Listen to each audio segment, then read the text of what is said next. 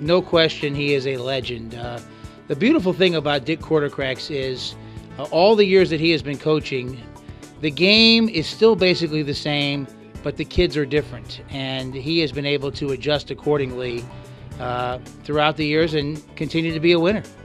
He's a gentleman, uh, class act, cares about his kids. His kids are always disciplined, they play hard, they play to win. He, he loves the game and, and he's he's fun to watch uh, both on the bench and then of course before and after the game.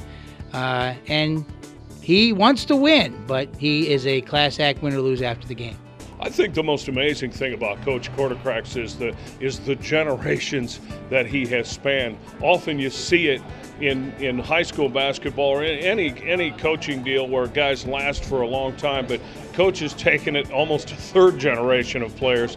It's really remarkable that he has that sort of a staying power, and he's done it in the small school culture, just classic high school basketball in Putnam County. And, and coach's staying power and his consistency with winning over the years, I think, speaks for itself like maybe no one in the history of Ohio. It's just a, a, true loyalty and a love of the basket, sport of basketball in general, and, and, the giving of himself for any reason and anything. As far as Kalida goes, the success speaks for itself. You don't have to. You don't have to. Uh,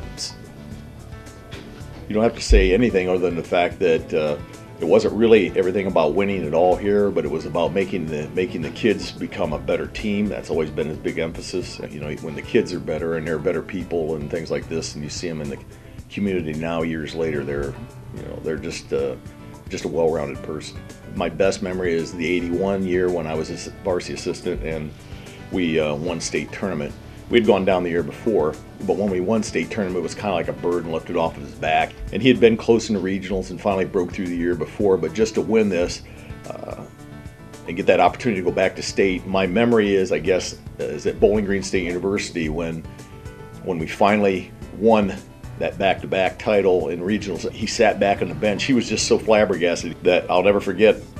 He was on the bench and instead of standing up and jumping around like I was when I was 25 years old at that time, uh, he kind of leaned back in the bench and I, I, don't know. You'd have to probably see it on tape, but he just leaned back, and I thought he was having a heart attack. I mean, I I saw him lean back, close his eyes, and just I'm going, oh my god, scared the heck out of me. But uh, just this little things then afterwards in the locker room and things that he said to people and so on. I guess those are my personal memories. So what I am, um, I am absolutely humbled that God has given me the privilege to have the help to stay with this thing for 50 odd years.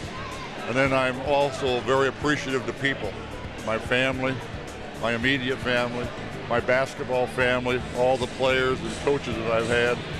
It's just been an honor to be a part of that with them. I hope every one of them that's been associated with me understands this is a part of their 800 situation as well as it is mine. So.